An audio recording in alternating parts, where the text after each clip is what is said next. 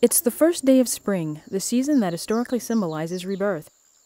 At the Defense Fuel Supply Point in San Pedro, California, a small group gathered to celebrate a very special rebirth the release of the rare Palos Verdes blue butterfly. There's the female. You can see the much darker wings. Today is all about recovery. It's about a scrapper who was down and out, thought extinct for 11 years, and we're putting it back.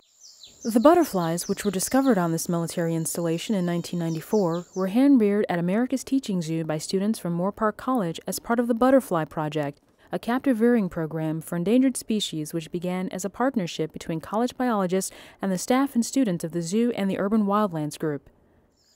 DESC got involved with the butterfly program because the butterfly actually lives here on this DFSP. The Defense Logistics Agency has been uh, helping care and provide uh, and upkeep um, the captive breeding program here. Federal agencies like the Defense Energy Support Center, which is part of the Defense Logistics Agency, are required by law to protect endangered species and their natural habitats. DLA worked with other federal and state organizations to provide additional funding and logistical support for this project.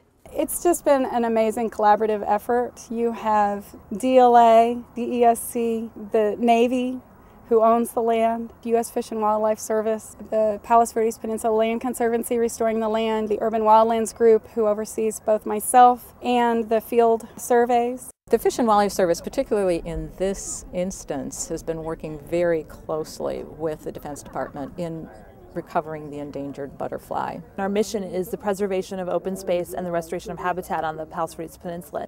We are having a wonderful time growing the host plants for these butterflies and outplanting them into the peninsula, and we hope to see additional releases at other preserves in the future. It's kind of exciting to be here and be able to be at this stage where we're, we're really starting to you know, move the, the butterfly off the base eh, eh, so that we can have that security of, of uh, having other populations. This is the most incredible uh, team effort I've ever been a part of. It's just this great conglomeration of all these different people working together to save this little tiny butterfly.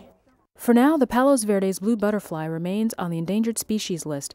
Dr. Johnson hopes to get enough stable populations in as many different places in its historic range as possible so that someday it will no longer be at risk. This is what feeds the soul. When you get to put them back and see them fly, it's amazing.